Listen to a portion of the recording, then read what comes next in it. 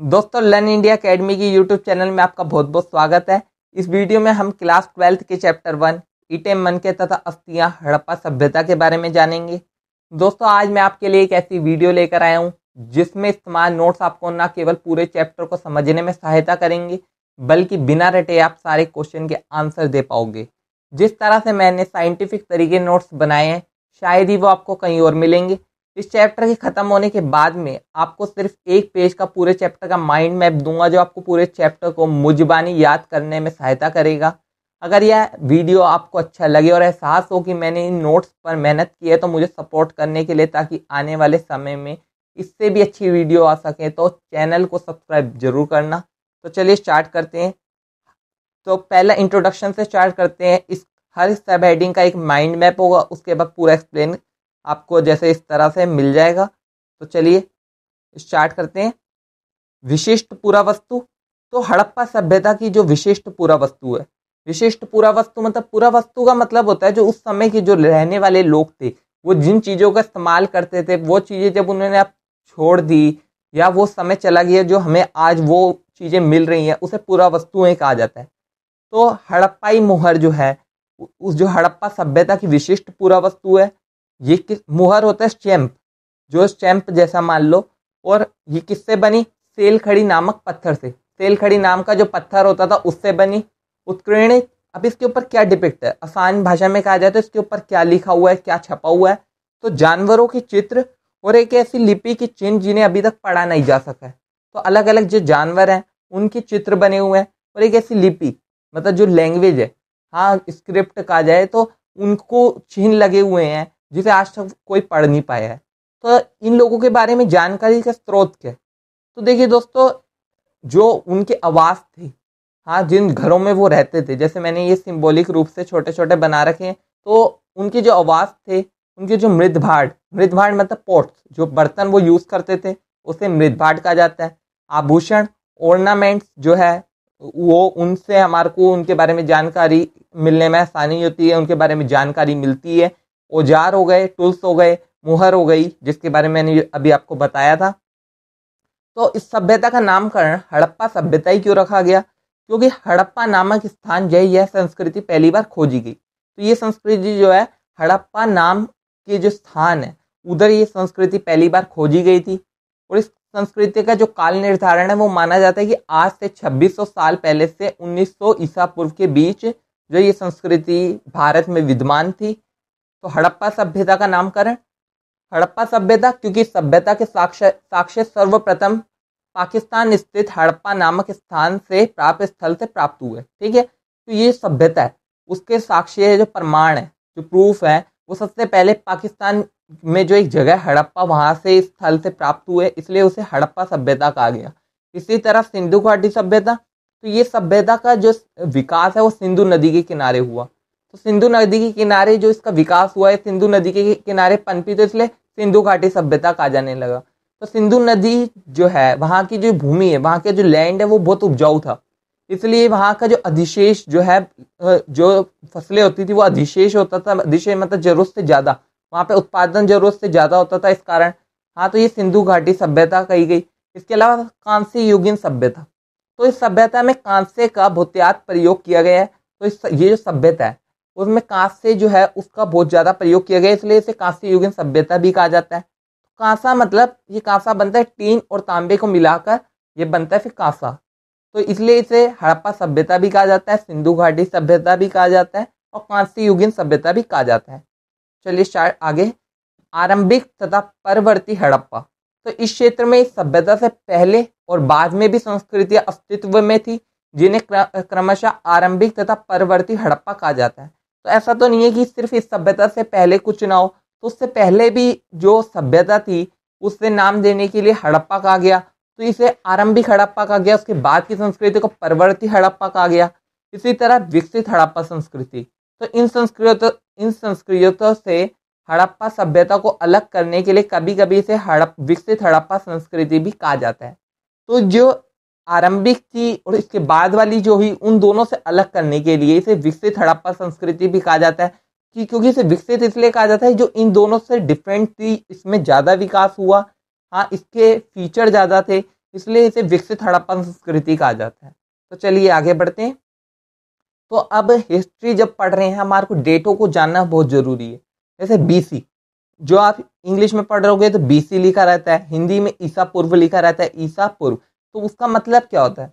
क्योंकि अभी जैसे ऊपर भी लिखा आया यहाँ पर कि ये संस्कृति का काल निर्धारण 2600 से 1900 ईसा पूर्व के बीच हुआ। तो ये ईसा पूर्व का मतलब क्या होता है?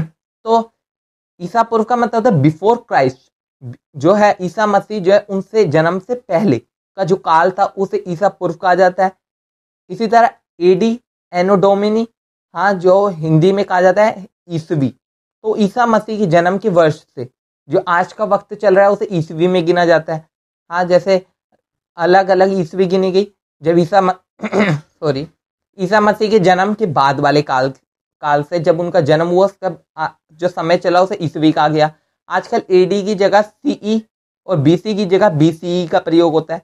तो जो एडी है, वो सीई बन गया और बीसी है, वो बीसीई बन गया सीई का मतलब होता है कॉमन एरा और बीसीई का मतलब होता है बिफोर कॉमन एरा तो चलिए आगे बढ़ते हैं।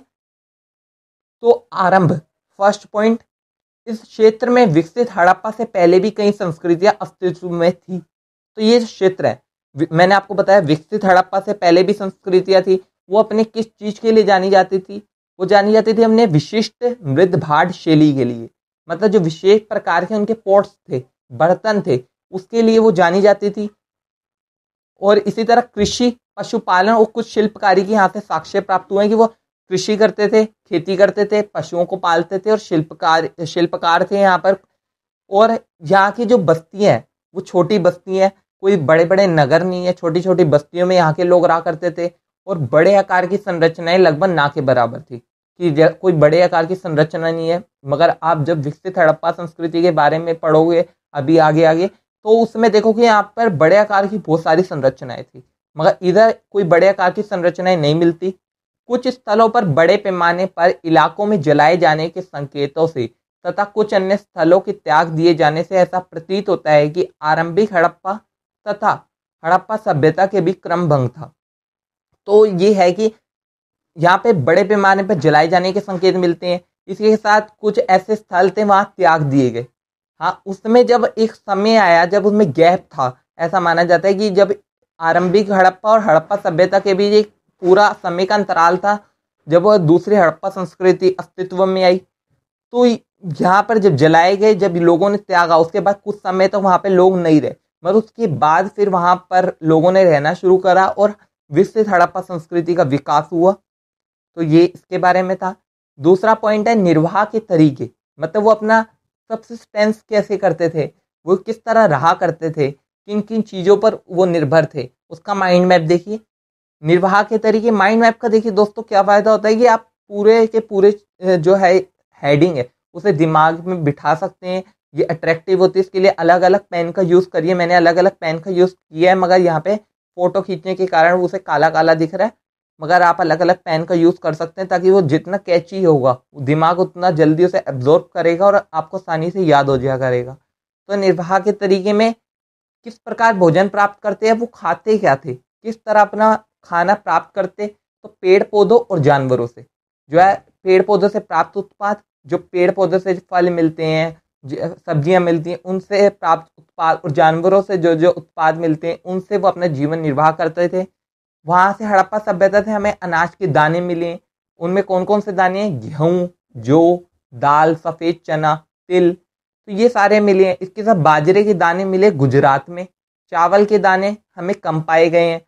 इसके साथ ही जो है पालतू जानवर भी मिले जैसे मवेशी, भेड़, बकरी, भैंस, सुअर। तो ये सारे पाला करते थे वो। इनसे अलग अलग उत्पाद प्राप्त किया करते थे। हाँ जानवरों को चोर ऑफ़ फ़ूड के रूप में माना जाता कि खाने के लिए ये कभी भी इन्हें कुछ भी मिल जाता, मांस मिल जाता, इनसे प्राप्त उत्पाद जैसे, से गाय से दूध मिल जाता है। इसलिए अलग अलग जानवर अलग अलग चीज़ें जो है चीज़ों से प्राप्त करते थे वो अलग अलग जानवरों से। इसी तरह जंगली प्रजातियाँ भी मिली हैं, जैसे वरहा। वरहा मतलब सुअर, हिरण और घड़ियाल की हड्डियाँ मिली हैं। तो इसके ऊपर देखिए दोस्तों, बहुत इंपॉर्टेंट क्वेश्चन भी बनता है। कि हड़प्पा सभ्यता के निवासियों की जो है निर्वाह के तरीके बताइए। तो इसके ऊपर जो है क्वेश्चन का आंसर ये पूरा पॉइंट में मैंने दे रखा है। वीडियो को पूरा देखना क्योंकि नहीं तो आप बहुत कुछ मिस कर जाएँगे।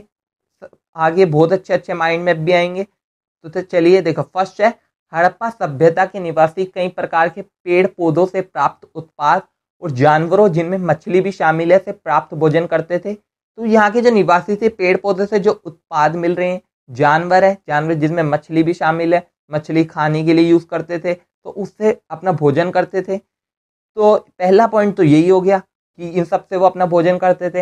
हड़प्पा स्थलों से मिले अनाज के दानों में, अब हड़प्पा के स्थल है, वहाँ से अनाज की कौन कौन से दाने मिले हैं? गेहूँ, जौ, दाल, सफ़ेद चना, बाजरा गुजरात से मिला, चावल, कम पाए गए हैं, ये ऊपर मैंने दोनों बताई दिए थे। हड़प्पा स्थलों से मिले जानवरों की हड्डियों में मवेशी, भेड़, बकरी, भैंस, सुअर सुअर मिली है जो पूरा प्राणी विज्ञानी, जो इनका अध्ययन करते हैं जीव पुरातत्वविदों द्वारा किए गए अध्ययनों से संकेत मिलता है कि सभी जानवर पालतू थे। तो जो है, इन्हें ढूँढने के लिए भी अलग अलग ब्रांच है, जो इन सब पर कार्य करती है, पूरा प्राणी विज्ञानी है, जीव पुरातत्वविद है। तो उन्होंने जब अध्ययन करा तो उससे पता चला कि सारे जो जानवर है, पालतू थे, जो मवेशी है, जिसमें गाय गाय हो गई, ये सारे बैल हो गए। हाँ ये सब आते हैं मवेशी में, जो इन्हें पाला जाता है, कैटल। भेड़ हो गई, बकरी हो गई, भैंस हो गई, सुअर हो गई, सुअर को भी वो पाला करते थे।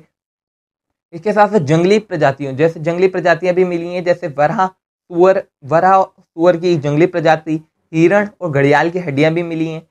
हम यह नहीं जान पाए कि हड़प्पा सभ्यता के निवासी स्वयं इन जानवरों का शिकार करते थे अथवा अन्य खेटक समुदायों से इनका मांस प्राप्त करते थे। अभी तक इसका कोई प्रमाण नहीं मिला। क्यों खुद इनका शिकार करते थे, खुद इनको हंट करते थे या बाकी जो अखेटक समुदाय थे जो इनका शिकार करते थे उनसे इसका मांस प्राप्त करते थे। तो मछली तथा पक्षियों की हड्डियाँ भी मिली हैं मछली की मिली है पक्षियों की मिली है हड्डियाँ। तो ये पाँच पॉइंट हो गए इसके। तो ये पाँच पॉइंट आप इस एग्ज़ाम के लिए यूज़ कर सकते हैं। देखिए अगला पॉइंट है कृषि प्रौद्योगिकी। वो जो एग्रीकल्चर टेक्नोलॉजी वो यूज़ कर, किया करते थे उसके बारे में इसमें जानेंगे कि कृषि प्रौद्योगिकी वो अपने जो खेतों में किस तरह की टेक्नोलॉजी यूज़ किया करते थे। जैसे वो बैलों का प्रयोग करते थे। हाँ जो बैलों का प्रयोग है, उसमें मोरों पर रेखांकन तथा मृण मूर्तियाँ मोहरें जो थी, उनकी जो स्टैम्प थी, उसके ऊपर जो बैलों की चित्र बनी है हाँ उसका जो रेखांकन हो रखा है, और जो मृण मूर्ति है मतलब जो कच्ची मिट्टी की जो मूर्ति है, टेराकोटा स्कल्पचर जिसे कहा जाता है, उससे पता चलता है कि वो बैलों का प्रयोग किया, करते होंगे क्योंकि वो उससे परिचित थे। हाँ तो इसी तरह हल्का प्रयोग, चोलिस्तान और बनावली, हरियाणा देखिए दोस्तों, बनावली, हरियाणा, बनावली जो हरियाणा में इसे, इस तरह याद रखना ज़रूरी है, क्योंकि जब आपको मैप आएगा, उसमें आपको ये भरना पड़ेगा कि बनावली हरियाणा में है, इस तरह कालीबंगन राजस्थान में है तो जगहों के नाम भी याद रखना। तो चोलिस्तान और बनावली हरियाणा में जो है बनावली, उससे मिट्टी से बने हल्के प्रतिरूप मिले हैं वहाँ पर। इसी तरह कालीबंगन राजस्थान में जुते हुए खेतों का जो साक्ष्य प्राप्त हुआ है कि वहाँ पर जुते हुए खेत उधर साक्ष्य उसका प्रमाण प्राप्त हुआ है। इससे पता चलता है कि वो हल्का प्रयोग किया करते होंगे। दो फ़सलें उगाना। इस तरह खेत में हल की रेखाएँ समकोण पर एक दूसरे को काटती है। तो जो खेत है, उसमें हल्की जो रेखाएँ दो, जो है, वो 90 डिग्री के एंगल पर एक दूसरे को काट रही हैं। तो इससे पता चलता है कि एक साइड जो है, एक एक तरह की फ़सल उगाई जाती होगी और दूसरी टाइप दूसरी जगह दूसरे टाइप की फ़सल उगाई जाती होगी। तो इससे पता चलता है कि दो फ़सलें उगाया करते थे। इसी तरह सिंचाई। सिंच जो है शत्रुघई जो शत्रुघई जो नामक जगह है, जो अफ़गानिस्तान में है, वहाँ पे नहरों के अवशेष प्राप्त हुए पंजाब और सिंध में जो है, कोई प्रमाण प्राप्त नहीं हुआ। इसी तरह धोलावीरा जो है, गुजरात में जगह है, वहाँ पर जलाशय मिला तो इससे पता चलता है कि वो खेतों की सिंचाई करने के लिए जलाशयों, नहरों, कुओं, इन सब का इस्तेमाल करते होंगे। हाँ अनाज के दानों से कृषि के संकेत मिलते हैं पर वास्तविक कृषि विधियों के बारे में स्पष्ट जानकारी नहीं है जो अनाज के दाने मिले हैं।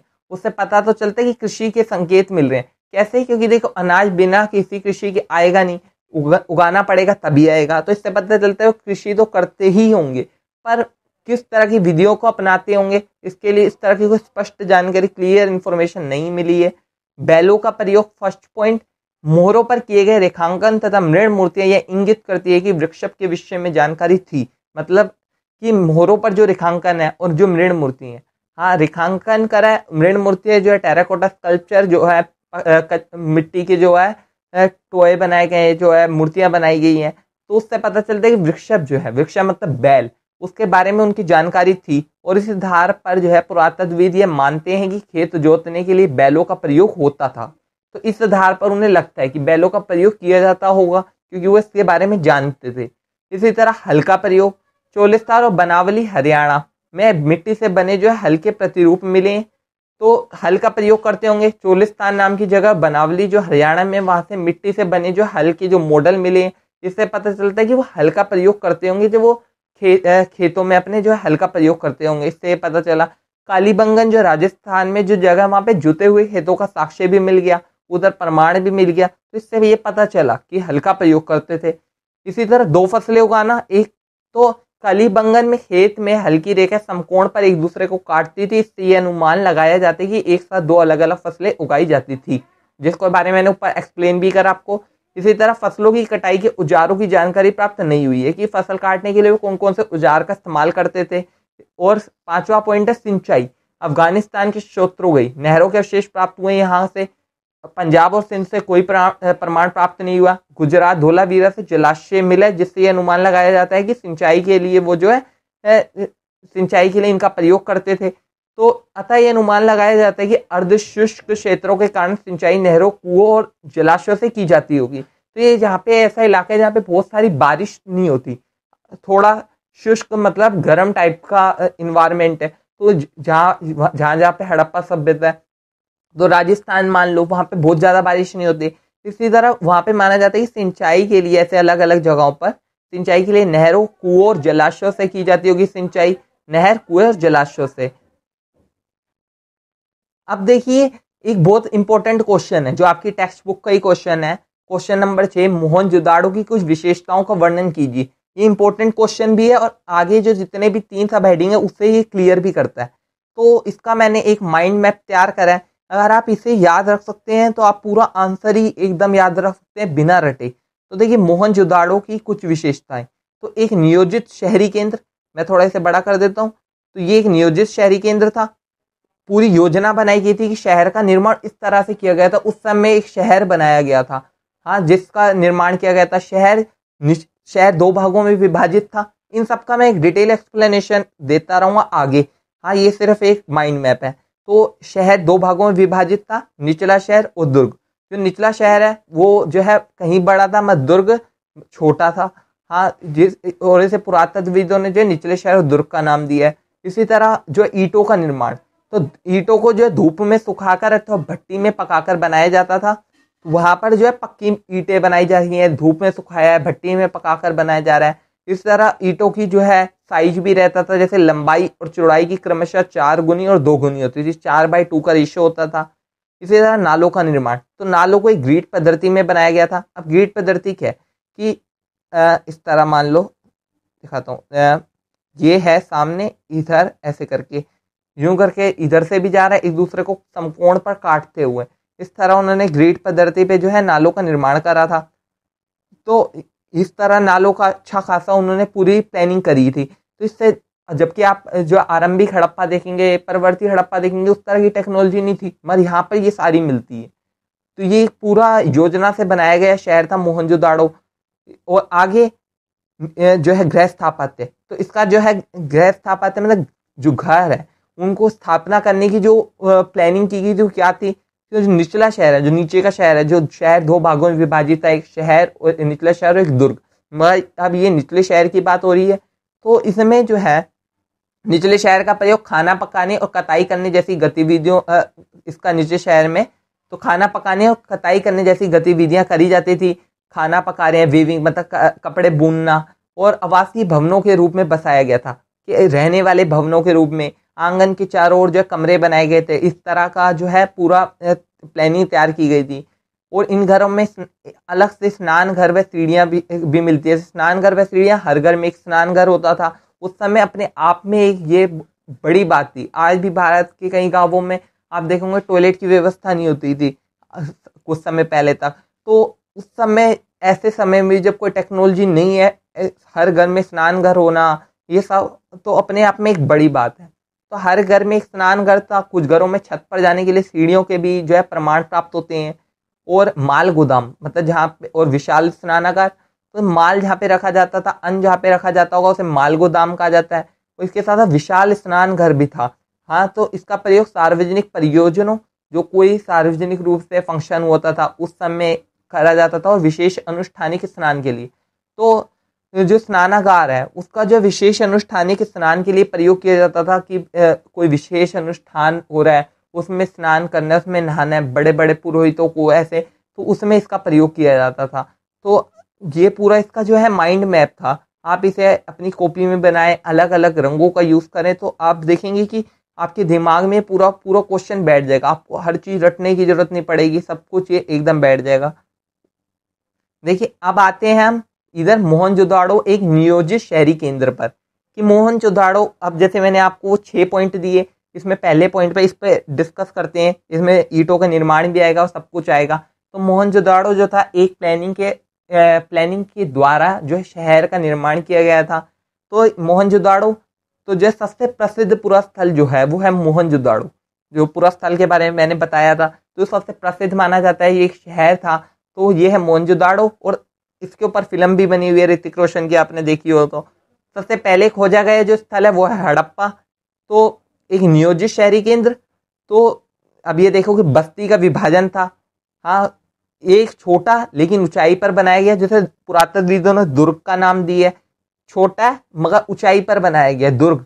हाँ और दूसरा कहीं अधिक बड़ा है, मगर नीचे बनाया गया जिसे पुरातत्वविदों ने निचले शहर का नाम दिया है। इसी तरह ईटों का निर्माण।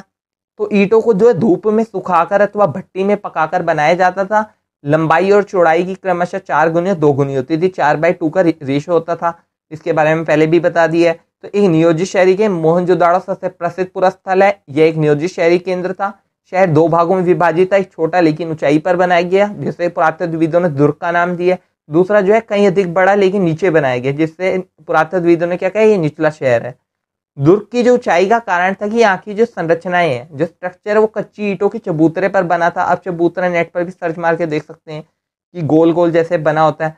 हाँ तो उसके ऊपर संरचनाओं पर कच्ची ईटों के चबूतरे पर बनी थी। और इसी तरह दुर्ग को दीवार से घेरा गया था, जिसका अर्थ है कि इसे निचले शहर से जो अलग किया गया था, और इसी तरह निचले शहर को भी दीवार से घेरा गया था। हाँ ईटों का जो है निर्माण, जो तीसरा पॉइंट है तो ईटों को धूप में सुखाकर अथवा भट्टी में पकाकर बनाया जाता था, उनका निश्चित आकार होता था, जिसमें लंबाई और चौड़ाई की, लंबाई और चौड़ाई ऊंचाई की क्रमशः चार गुनी और दो गुनी होती थी। तो आप देखेंगे कितना आसान हो जाएगा सब चीज़ों को याद रखना माइंड मैप से, सब कुछ से। तो ये वाला जो है पार्ट वन है, अगला पार्ट टू लाऊँगा उससे मैं आगे का डिस्कस करेंगे। कोई मेरे लिए आपके आपके मन में कोई सुझाव हो तो कमेंट करके ज़रूर बताएँ, और अगर आपको लगा हो सचमुच कि इसमें मेहनत लगी है तो चैनल को सब्सक्राइब ज़रूर करें। देखने के लिए धन्यवाद। वीडियो को लाइक और शेयर करें। अगली वीडियो में मिलते हैं। Bye bye.